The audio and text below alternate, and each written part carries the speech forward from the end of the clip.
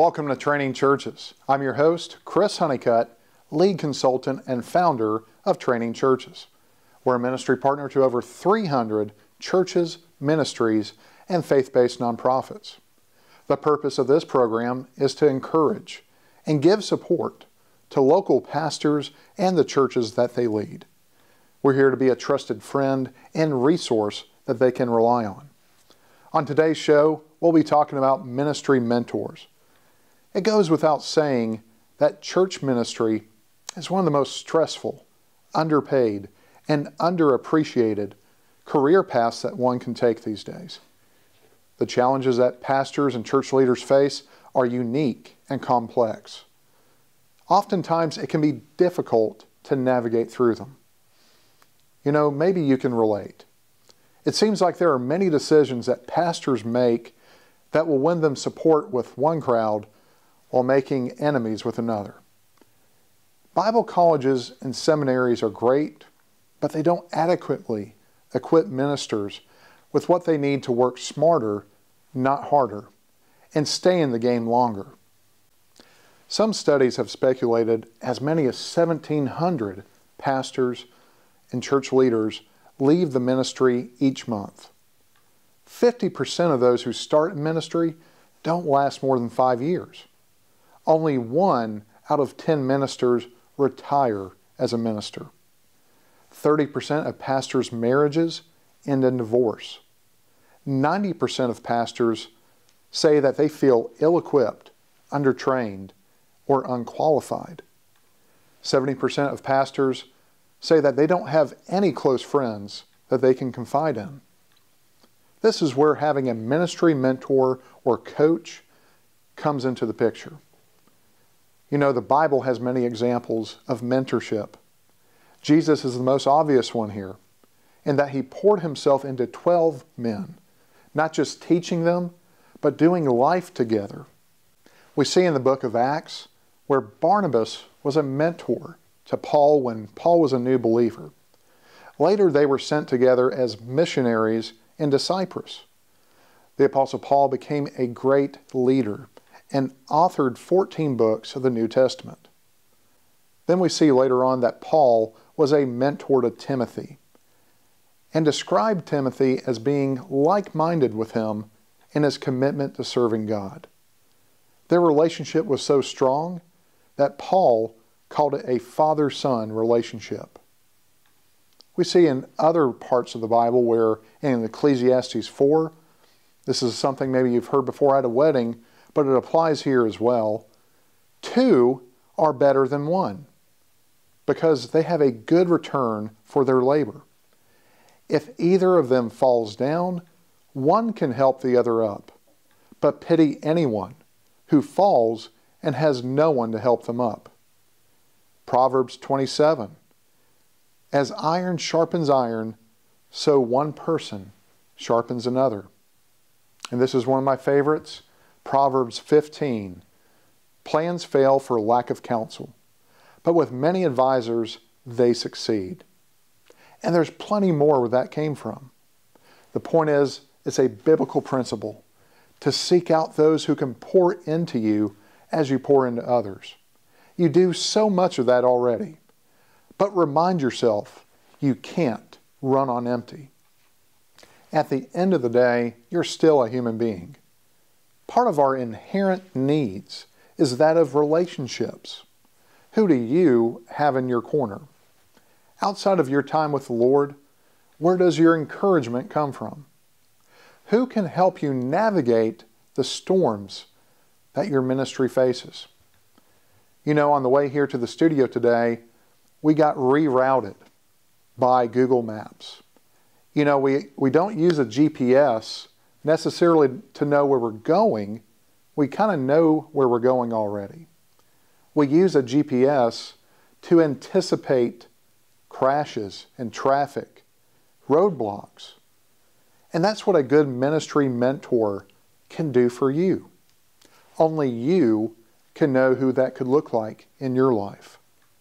Let's hear more about this from Dr. Joseph Dutton, pastor of the Epicenter Church in Forest City, North Carolina. Hey, everybody, I'm so thankful to be able to have this opportunity to join you today on Training Churches with Chris Honeycutt. Guys, I love Chris Honeycutt. He's a great, great man of God, a great coach, a great mentor, one of the elite in his field of ministry and marketplace. And we're just excited to be able to have this opportunity.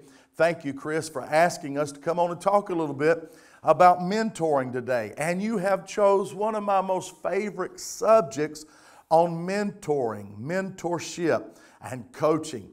You know, as a preacher, especially a, a Pentecostal preacher, hallelujah, we have not, we grew up not thinking so much about mentorship and coaching. And I think many of us in a lot of circles that we grow up in, especially denominational circles, if you grew up like I did, I grew up in the assemblies of God.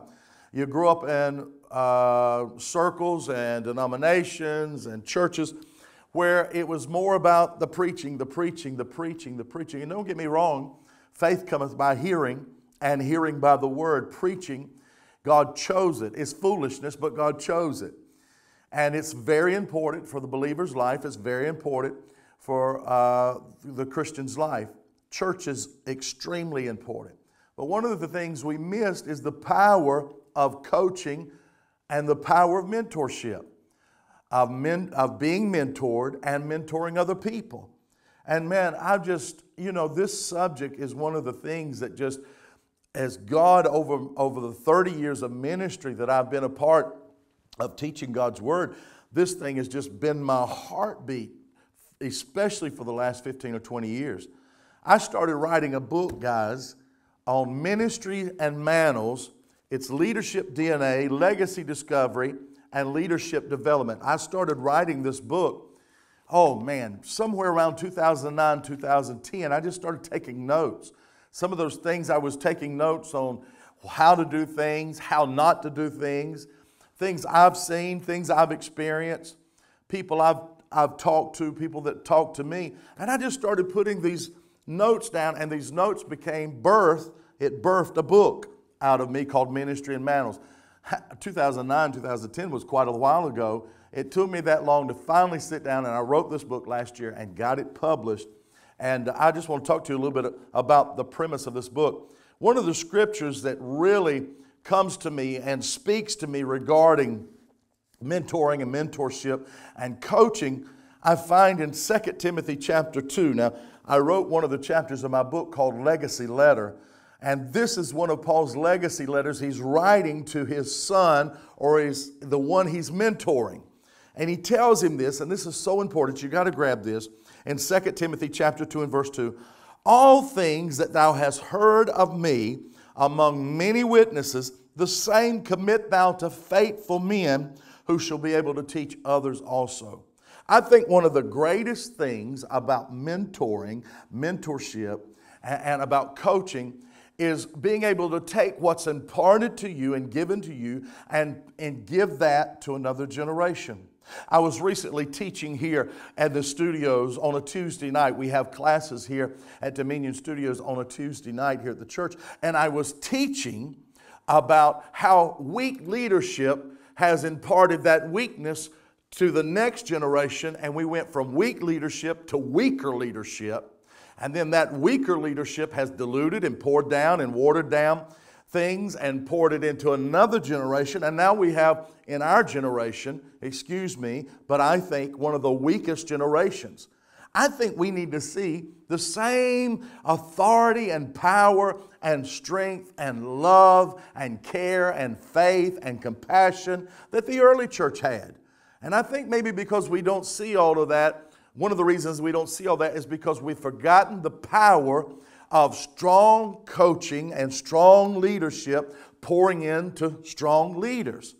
You know, Jesus said this He said, Pray for, He didn't say pray for the harvest, He said, Pray for laborers to go into the harvest. And I, have started a new series called Lead here at the church, at the ministry. And I really do believe that when Jesus said, Pray for laborers, he was saying, pray for or search out for leaders. I think we have an obligation to search for leaders, and I think we have an obligation to search for leaders that, number one, that we can pour into, and number, and number two, leaders who can pour into us. I often tell people don't receive teaching from someone that's not teachable. I'm going to say that again. Refuse to receive teaching from someone that's not teachable, and don't worship with someone who doesn't worship. But anyway, that's another sermon.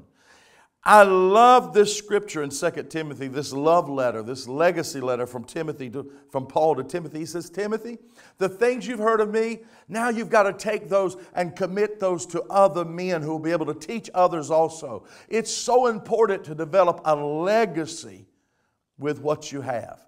What you have is more important than you. I'm going to say that again. What you have is more important to you. It's important, number one, to make sure you have someone speaking and imparting to your life and keep pouring into you because if you don't, you're going to run dry. And number two, you have to pour that out to someone else. It's not enough to keep it in you, you've got to pour it out to somebody else. And once you pour it out, you need to be poured back into. So, one of the greatest elements in life that we're missing is the element of mentorship, being mentored and mentoring others. It's not enough just to be mentored, we have to learn how to mentor others. I often think about the scripture found in Exodus 18, where Jethro wasn't a part of those uh, wonderful children of Israel that were captivated, captive, enslaved in Egypt. And uh, how Moses and Jethro came together after the deliverance of God's people. And, and Jethro came up to see what was going on, and Moses greeted him with a kiss and, and started telling him how God had brought him out, etc., etc. And they were excited to see one another. It was a family reunion. The next day, Jethro comes to see Moses, and Moses is sitting in his seat, you know, and he's He's judging things. He's praying for people. He's praying for people uh, runny nose. He's praying for broke bones. He's praying and counseling people with their marriage. He's talking to people who, who, their, who their friend next door didn't look at them right. You know, it's church stuff. Uh, somebody sing their song. Somebody sat in their seat. Somebody hurt their feelings. Somebody was offended, and he was just, you know, sitting there and doing what pastors do. And um, he was doing it from morning till night, from morning to night. He was praying for their one eyed squirrel. He was praying for their three legged dog. He's praying for their children. He's praying for their finances. He, praying for he was going to the hospital. He was cutting the grass. He's doing everything we try to do. And Jethro saw that, and Jethro went, Oh my goodness, Moses is going to kill himself. I've got to teach this boy, his son, son in law, I've got to teach him the power of mentorship. And he begins to pour into him. He talks, he pulls him aside, says, Moses, what, look, I love this phrase. What are you doing to the people? Look, I want to tell you this. If you are not being mentored by someone and learning how to do ministry correctly, I know you got a gift, I know you're anointed, but we have to learn how to do ministry correctly. And Moses' father in law was a mentor or a life coach to him, telling him, What are you doing to this people? You're going to kill this people, number one. And number two, you're going to kill yourself. He told him, Moses, you'll surely wear away doing this. And so Moses started praying, and God gave Moses a plan. He said, Moses, I want you to choose out 70 men among the people. And there's some qualifications about those men. Choose out 70 men and begin to pour yourself, put your spirit on them. Time fails me in this little segment today on training churches. And again, I thank you for the opportunity. But time fails me to talk about Moses' spirit on those 70. Time fails me to talk about how Elisha asked Elijah for a double portion of his spirit. I'm thankful for my daddy. My dad was a wonderful man. Over 30 or 40 ministers have gone out in ministry because of his mentoring and coaching and impartation to them. And now, many of us, people like Chris, are pouring into others and pouring into your life because someone mentored us, someone coached us, someone spoke into our lives. And now, like Paul told Timothy, the things you've heard of me, tell someone else about it. Hey guys, I appreciate you. I didn't have long, and I'm one of them long winded preachers, so I had to get it out quick. get the book, Ministry and Mantles. It'll be a blessing to your ministry, it'll be blessing to your people. It's, you can find it at drdutton.org, or real soon, just in a few weeks, the ebook will be out on Amazon. You can download it there. drdutton.org, the book is Ministry and Mantles. And for all of you right here watching on Training Churches, you can put in a code and save 15% off of that. It's right there on the screen behind me. I hope you can see it. 15 off and you can save 15% off the book just for watching this program. Hey, connect with us on Dominion TV. We love you. See you next time. Thank you, Chris. Thanks, Pastor Dutton. We'll be right back.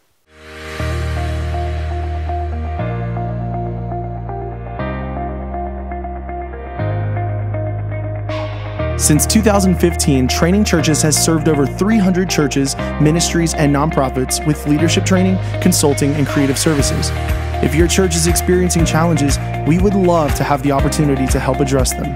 Visit our website to learn more at www.trainingchurches.com. Welcome back. On today's Team Member Spotlight, we get to hear from Shane McKenzie and Tom Simpson. Hi, everyone. Welcome to the Training Churches Team Member Spotlight segment of our show. Today, I'm joined by Tom Simpson. Tom, welcome to the program. Thank you for having me. Oh, we're glad that you're here. We're talking about something that uh, I know you've got some experience with, Tom, and and that has to do with coaching and mentoring, particularly as it relates to pastors and other church leaders. And I'm curious, Tom, for you, why is it important for a pastor to have a mentor or a coach? Well, I, I think for anybody in in ministry to have a uh, uh, a mentor early on in their uh, ministry is very important because mentors somewhat like uh, discipleship. It's somebody that's uh, a little bit further down the road and through experience and their knowledge that can lead you and so that you uh, can gain from what they've already have have learned. Um, then accountability partners are also important accountability partners are somebody that you can get open and real with and you can uh, somebody that can ask you the the tough questions. A having a, a coach combines those two things and goes a little bit further. And coaching is uh, very much a collaborative effort, mm-hmm. and it's more of a peer to peer. Oftentimes, with discipleship or mentoring, there is an, uh, a superior to inferior relationship. And but with the with uh, coaching you are actually two peers that are coming alongside and uh, kind of trying to discover and what needs to be discovered in that person's life. And uh, sometimes it's it's looking for answers to particular problems but it goes more than just problem solving but problems do get solved. It uh, also is good for attaining goals but uh, it's more than just that. And so in coaching involves just really kind of a, an awareness and uh, working on the choices that uh, that that you need. Then sometimes it's that fork in the road in which pastors come to, and oftentimes they don't feel like they can turn uh, to anyone within their congregation and they don't feel that they can even turn to other pastors in their community. And so a life coach is is very uh, is, very much needed in the pastorate. That's good, Tom. I, I personally benefited from both mentors and coaches, as well as accountability partners. And I, I'm curious for you, was there were there one or two people early on in ministry who made an impact for you, and if so, how? Absolutely. I I was blessed with um, in the pastor of our, my church started out discipling me and then after going off to seminary and he called me back and i was his associate pastor and we worked at two different stints together for over 20 years mm-hmm. and he poured his life into me and from allowing me to be a fly on his wall in the way that he studied and then also every time that um, he would have a small errand or a short trip, he would ask me to come along. And that was before cell phones and back when you could actually get away from in all the distractions. And it was just the two of us in a confined area. At, at the same time, I've also benefited from a, uh, a life coach. Uh, I've got a, a, friend in Colorado that is in uh, his job is a, a, life coach, and we have known each other for and going on 25 years. Mm-hmm. And uh, it started out as a friendship. Then he went on to become a life coach. I went on to become an, a pastor, and we ended up still to this day. I check in and uh, probably every other week, and we we get together and, and have a session together. That's great. That's great, Tom. Thanks for sharing that. I'm thinking through just some of my own experiences. I've watched other people in ministry over 25 years now. And one of the things that I've noticed is this this reality of some pastors or church leaders living alone. And what I mean is it seems like that there's a bit of isolation that happens when you're in one of these strategic ministry roles. And I'm I'm just wanting to know what could a coach do for a pastor or another church leader who's feeling isolated right now? Hmm. I think that's uh, that happens way too often, and I think and part of the reason why that happens is expectations and expectations both internal and external, and pastors in fear uh, not living up to others' expectations, and that expectation that so oftentimes is is either uh, real or imagined is that everybody has to be perfect. Mm. and to uh, pastors feel like they have to deliver the perfect sermon.